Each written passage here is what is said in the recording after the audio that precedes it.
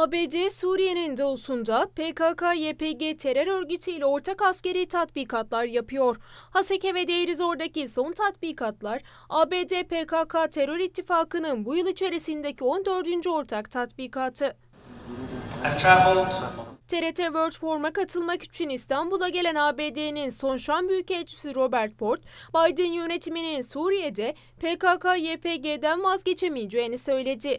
To places where someone like Madeleine Albright Biden yönetimi Amerikan güçlerini Suriye'nin doğusunda tutmakta ısrarlı ve yerel bir ortağa ihtiyaçları var. Amerikalıların 10 yıldır sahip olduğu yerel ortak ise YPG.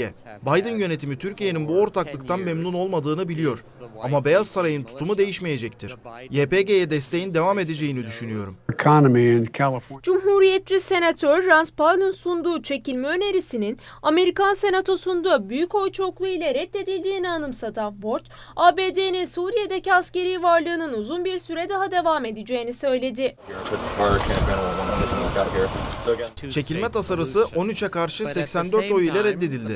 Bu oylama gösteriyor ki Suriye'nin doğusundaki Amerikan askeri varlığına hala güçlü bir siyasi destek var.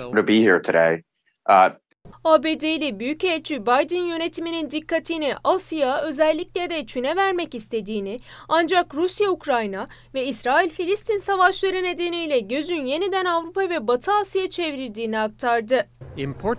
Biden yönetimi bu durumdan memnun değil ancak bundan kaçamazlar.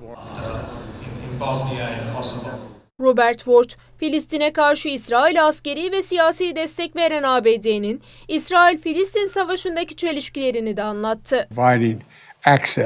Biden yönetimi iki şey istiyor. Hamas'ın Gazze'deki kontrolünü sonlandırmak ve İsrail'in Gazze'de sivilleri öldürmemesi. Ancak bu konuda derin bir çelişkiye düştüler ve bu çelişkiye bir çözüm bulamıyorlar.